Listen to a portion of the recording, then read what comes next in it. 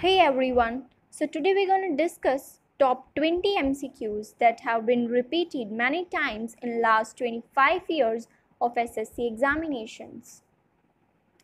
Starting with the first question, which is the largest planet in our solar system? The largest planet is Jupiter. Why it is so? Because Jupiter is more than twice as massive as all the other planets combined. Jupiter's immense volume could hold more than 1300 Earths in it.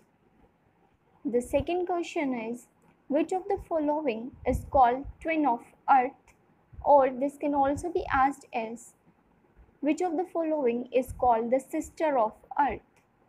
Venus is known as the sister of Earth or twin of Earth. Why it is so? Because they have almost same mass and same size, radius, volume and even density is also approximately equal. Moving on the third question, we have which is the hottest planet in the solar system? What do you think guys? Which is the hottest planet in the solar system? If we consider the distance from the sun as main factor for the temperature of planet, then the answer should be Mercury. But it is not so. The correct answer is Venus. Why Venus? Venus is hottest planet because Venus has a very dense atmosphere made up of great amount of carbon dioxide, nitrogen and sulfuric acid, while Mercury has a thin atmosphere with various gases but very little carbon dioxide in it. Carbon dioxide in Venus clouds absorb energy from the infrared radiations very well and trap the heat on the planet. The next question is the moon is showing its same face to the earth because the correct option is its period of rotation and revolution are same. Why it is so? It is so because its rate of spin is tidally locked so that is synchronized. Synchronized here means the coincidence of occurring at the same time or to make occur at the same time with its rate of revolution. It means the revolution and the rotation have the same period of time for the moon. In other words, we can say the moon rotates exactly once every time it circles the earth. It is, it is because of the strong gravitational pull of Earth. Fifth question, we have the asteroids revolve around the sun in between. The options are Earth and Mars, Mars and Jupiter, Jupiter and Saturn, Saturn and Uranus.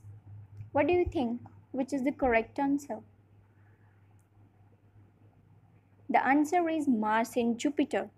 Why it is so? Because the area between Mars and Jupiter have too much of gravity going on and the reason for this hole is Jupiter.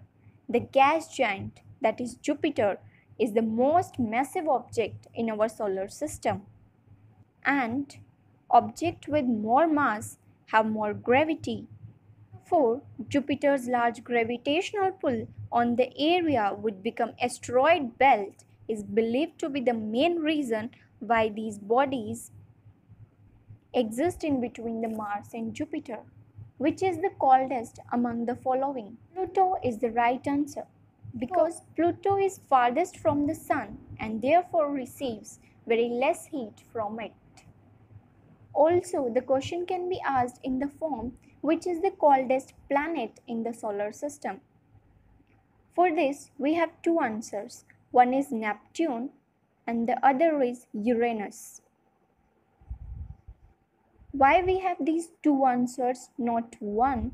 Because Neptune is the planet whose average temperature is least, whereas the Uranus on which scientists recorded the lowest temperature. Neptune's average atmosphere temperature is minus 214 degrees Celsius, whereas Uranus ever recorded lowest temperature is minus 224 degrees Celsius. And if we see the data of year 2000, then the coldest planet was Pluto. But as Pluto is now considered as dwarf planet, so it is the coldest dwarf planet. Seventh question is, what are pulsars? Pulsar, as well defined from the name, it is something related to pulse, contraction, pulsating, or on and off. It is a star which radiates two straight beams and continuously spin, spins. So the two beams spinning seems to be like on and off. Therefore, it is named as pulsar. So the correct answer is rapidly spinning stars. Moving on the eighth question, which is the second nearest star to the earth after the sun? The correct answer is Proxima Centauri. Proxima Centauri is a star which can be seen with the naked eye from the earth's surface. Because of the proximity of this star, its distance from the sun can be measured directly.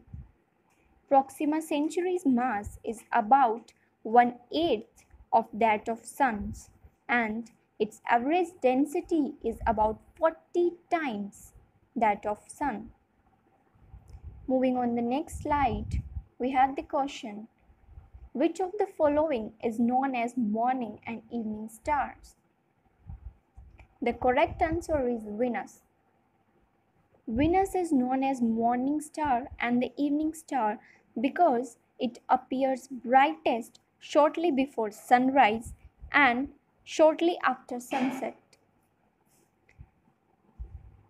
Venus overtakes the earth every 584 days as it orbits the sun. As it does so, it changes from evening star visible after sunset to the morning star visible before sunrise. The next question which is very repeatedly asked in the examinations is solar energy is received by earth through the correct answer is radiation. Why radiation? What is radiation? Radiation is a process in which energetic particles or energetic waves travel through vacuum or through matter containing media that are not required for their propagations. Question number 11 is What is supernova? When a massive star with the very high density collapses, exhausts its supply of fuel, it's blast out in a giant explosion known as supernova. This means when the star is very much massive but the volume is less and the density is very much high, then the star itself, itself collapses. Then this explosion of star is known as supernova. Moving on the next slide, we have question number 12. Which of the planet is called the blue planet? Earth is known as the blue planet because it has a large number of oceans in it and, and due to the presence of large number of water bodies, it appears to be blue from the universe, therefore it is known as blue planet. Question number 13. When the moon completely covers the sun, it is known as umbra. Let us explain this through the diagram.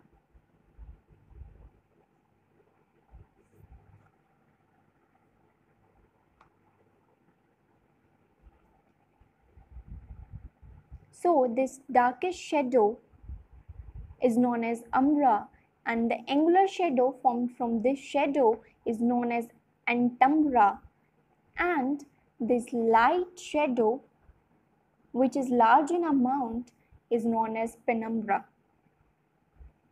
So when the moon completely covers the sun, there appears a darkest shadow which is known as umbra. Solar or lunar ellipse, the region of Earth's shadow is divided into three parts. As we have explained it through the diagram, the first is penumbra, the second is antumbra, and the darkest one is umbra. Question number 15. We have day, day and night are equal at equator. Why it is so?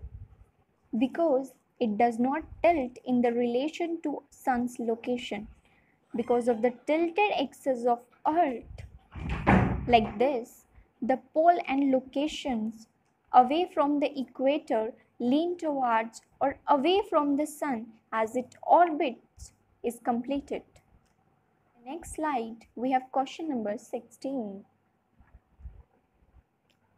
when does the solar eclipse take place? The right answer is when the moon is between earth and sun.